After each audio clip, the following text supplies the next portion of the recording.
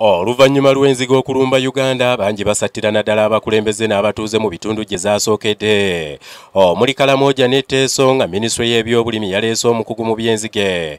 Dr jw bahano okuyambako mu mirimu egitali gimu. Dr bahano olwaliro asinkanye abamu ku bannamuleba vision group okulambulula ku nzige zino. Mu lukuŋŋaana olutuuziddwa ku kitebe kyaffe wano mu industrial area bahano agamba nti uganda lwe yasembayo okulumbibwa enzige. Zaali zaabika bisatu okwawukanako n'omulundi guno we tulumbiddwa ekika ekimu ate ekitali kya bulabe ennyo wadde kino yali yakiraba dda era n'alabula gavumenti naye ne watabaawo kikolebwa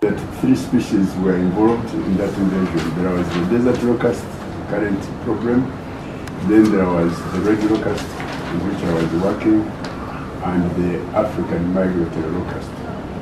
So for some ecological reasons, they all started moving all over the place, and Uganda was attacked.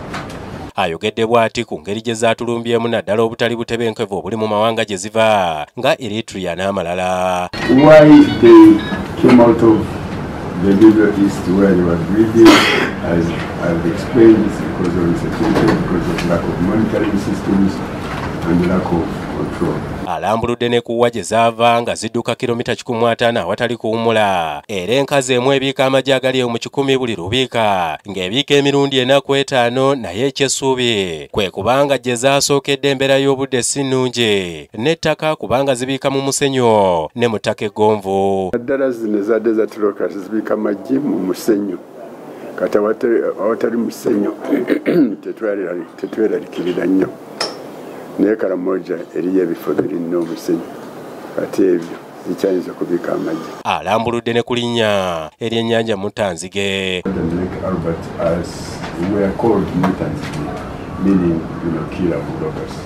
Olw'endya gye ziryamu n'obungi bwazo bahana agamba nti tulina okuzirwanyisa mu bwangu wadde waliwo abantu abasobola okuzirya. Single swam will consist of not less than 50 million locusts.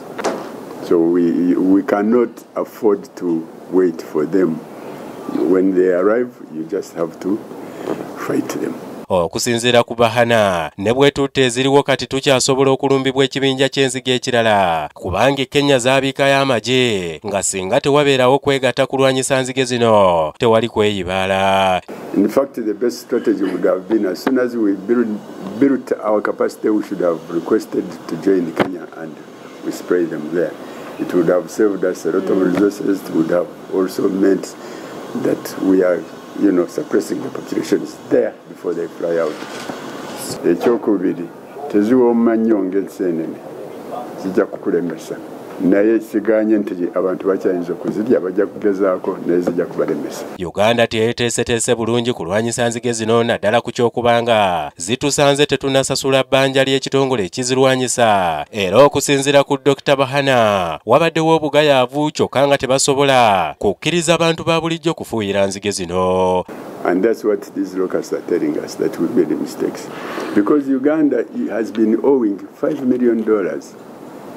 So for many years they've not been paying. And that is arising out of very, very little money, $112,000 per year. It's very little money for a country. alambuludde ku ngeri gye zifuuyirwamu era kizibu nnyo okuzifuuyira mu ttuntu kubanga zibuuka n'obudde temperature eba etandise okugira ki ng'ese wansi oba nga tenaba kugenda waggulu ng'eba ng'egenze waggulu n'ofuuyira eddagala eddagala eryo lijja kufuumuuka kubanga lifuumuuka nnyo. Lijja kufuumuuka liremu okukola omulimu gwazo. Nze ismael nsubuga ku lwa bukedde tv